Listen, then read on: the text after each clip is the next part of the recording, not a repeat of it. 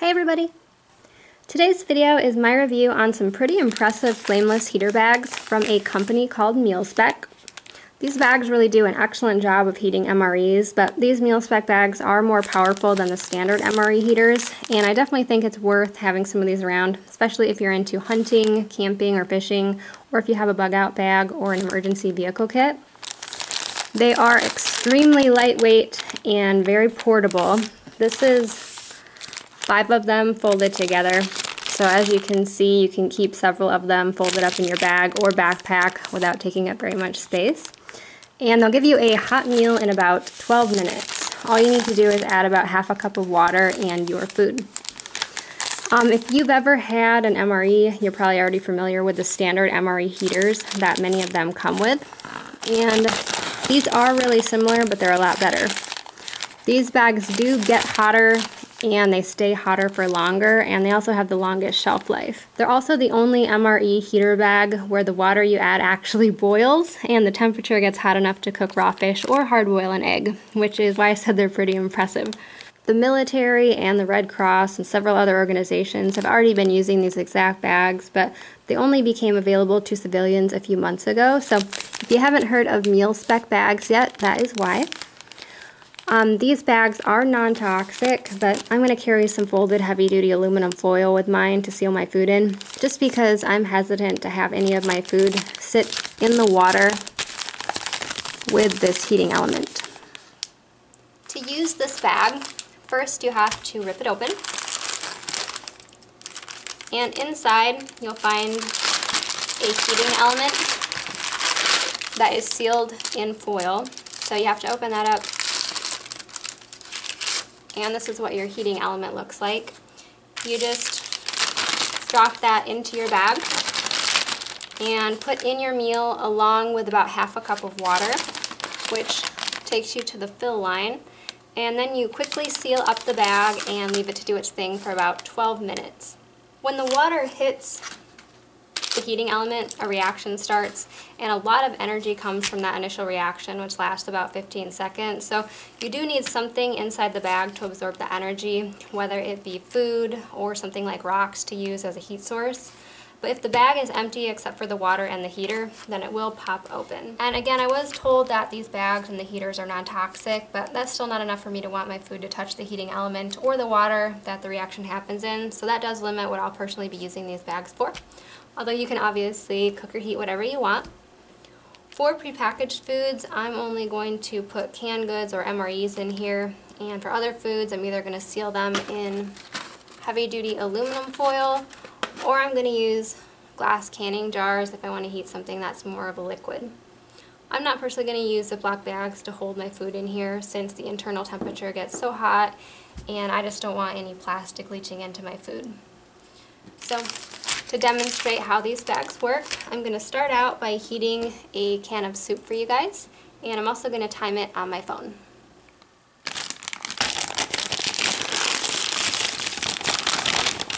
Okay, I've got my can of soup in there with the heating element, and I'm going to add about 4 ounces of water and seal it up as fast as I can.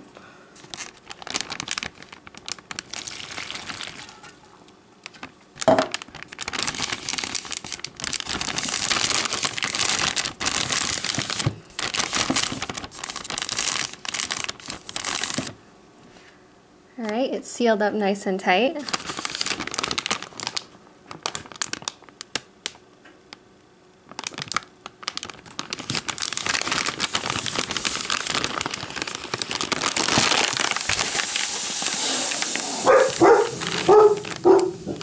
wow, my dogs really don't like this.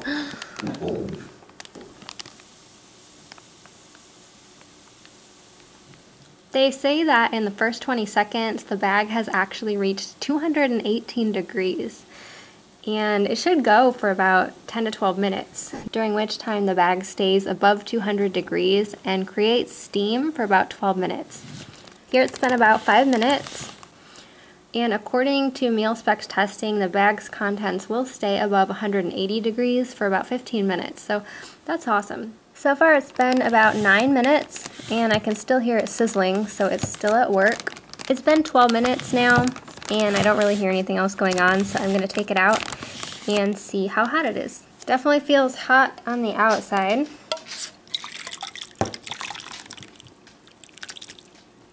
Well, I'm getting about 130 degrees on the soup. So now I'm just going to try some. I'm happy to report that this can of soup is the perfect temperature. It's not too hot, it is not too cold, it's not lukewarm, it's just right. So these bags work great for cans of soup, and I'd say you could also use them to heat canned vegetables or canned meals like ravioli, manwich, chili, anything like that, and it'll come out just fine. I'd say most people have some canned goods at home, so if you have an electric stove, these bags would come in really handy to heat food if you have a power outage. I had a power outage for almost a week about a couple months ago, but I have a gas stove and also a fireplace, so I did not need to use these bags. But I do know from experience that when it comes to food, once I've been without power for about a day, I'm most concerned with using up the food that's in my refrigerator before it goes bad. And in my fridge, the two main things I've got are what's right here eggs and vegetables. So I'm going to attempt to cook some eggs, broccoli, and green beans in these bags. I really love hard-boiled eggs, and I already know that this bag can hard-boil one egg just sitting in the water, but I'm going to make the most of a bag and see if I can cook three eggs at once, since that's how many fit across the bottom. And I've also wrapped all my eggs in foil like this, just because eggshells are so porous. Plus, maybe wrapping them in foil will help them cook better. I don't know. We'll see. All right, here we go.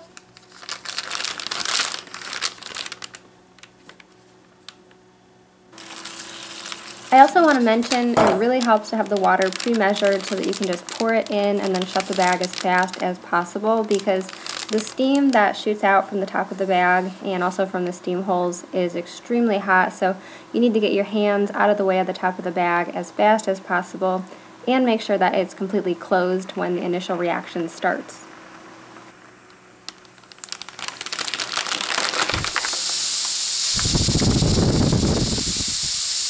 You should also be extremely careful when you handle the bag and open it, just because I'm not kidding, it gets super hot and it would be really easy to burn yourself. So definitely keep your hands and your face away from the top for sure, and just be really careful. I do like my eggs to be more hard-boiled than soft-boiled, so even though the bag says meals are ready after 12 minutes, I did leave my eggs in here for 20 minutes.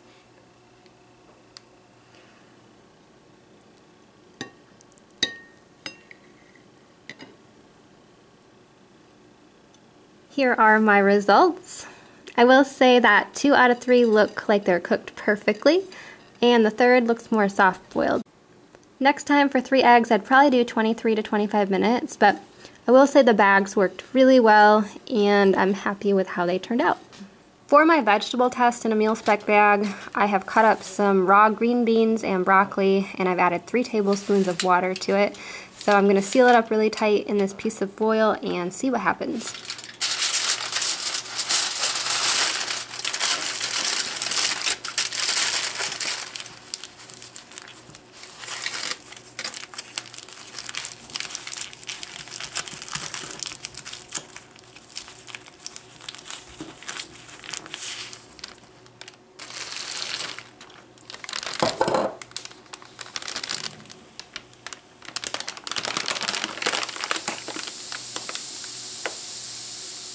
Left the broccoli and beans in for 15 minutes. Everything's nice and hot, but I'd say the broccoli is more edible than the green beans since it's cooked pretty much all the way through. Most of the green beans are still pretty tough yet. I'm really curious if these bags will cook potatoes, so here I've got some baby reds, and I pulled out four of them and cut them into quarters, and I'm going to wrap them up tight in foil and see how they cook. Here we go. Hope it works.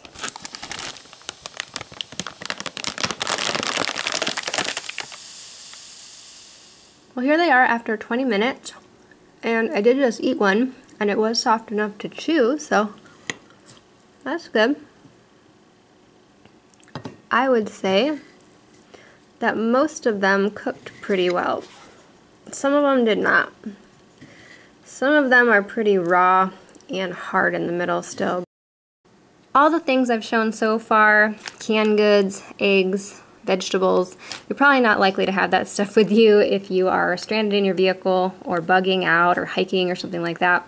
You're much more likely to have an MRE or something. But um, if you are hunting or camping, you are probably very likely to catch a fish. So now I'm going to try cooking a raw salmon fillet in a MealSpec bag. So here's the salmon that I'm going to cook. I just put a little bit of salt, pepper, dill, olive oil, and lemon juice on it. And I'm going to put another piece of foil over the top and roll off our edges to make sure that it's sealed really well. I've already got my heater in the bag, and here's my wrapped salmon. And again, I'm just going to add about a half a cup of water and seal it fast.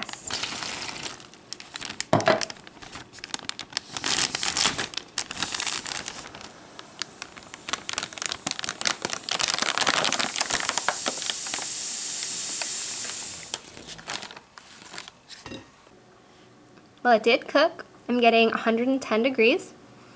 I do personally like my fish a little bit more cooked than this and a little more flaky, so I'm going to rewrap it in another piece of foil and give it a little more time in another MealSpec bag and see what happens.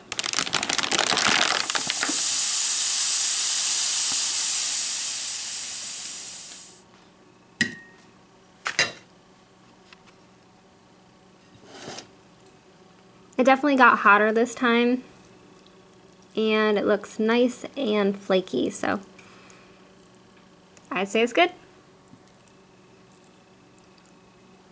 Next I'm going to try to heat some coffee and some hot cocoa each in a separate MealSpec bag.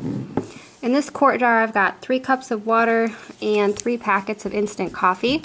And in this pint jar I've got one and a half cups of water and three tablespoons of cocoa mix. This is how the quart jar fits.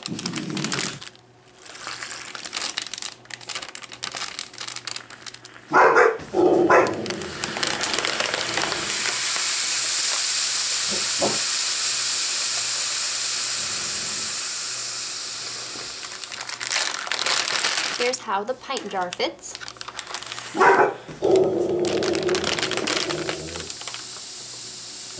I left the coffee in for 15 minutes and the jar is hot but it's not too hot to touch.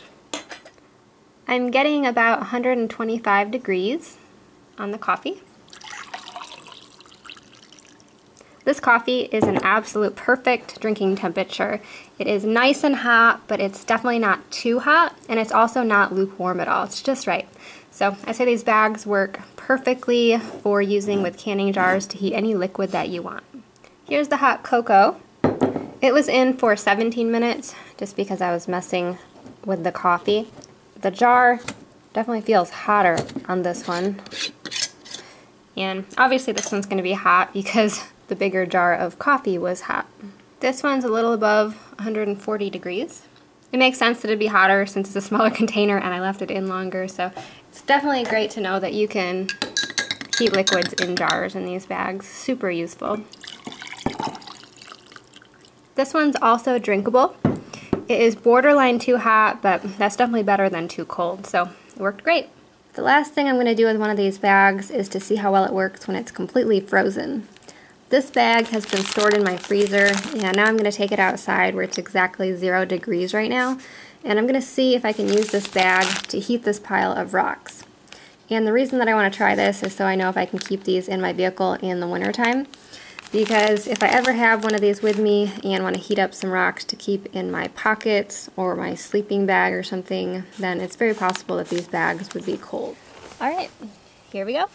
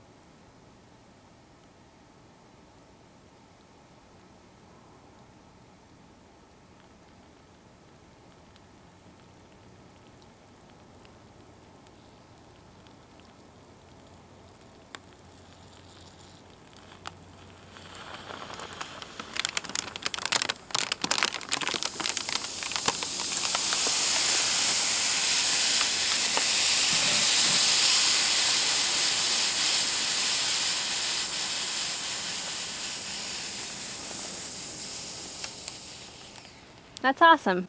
I guess I'll leave it out here about 15 minutes. Alright, it's been about 12 minutes and it's not steaming anymore or sizzling, so I'd say it's done. Here's my pile of rocks after 15 minutes out in the cold.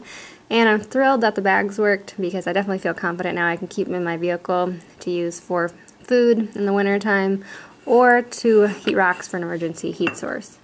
And I would say they're not super hot, they're just a little bit warm. I doubt they'll stay warm for very long, but they still feel really nice after coming in from outside. Alright, I'm not going to test any more bags, but I do think they're pretty amazing, and they can be found for about $1.50 each at mealspec.com.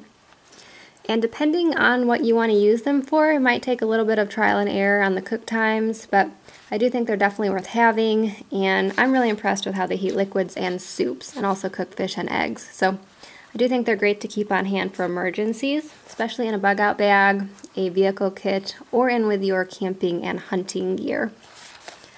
Um, I have had a few bags pop open on me during that initial reaction, so even if you have food in the bag, you should always be cautious and know that they could pop open. And when I did have them pop open, I think it was because my foil packages were too big, but I'm not exactly sure on that. Either way, usually they don't pop open, and I've never had that happen with glass jars yet. So I do hope you guys found this informative, and I will be back soon with another video. Thanks for watching. Bye.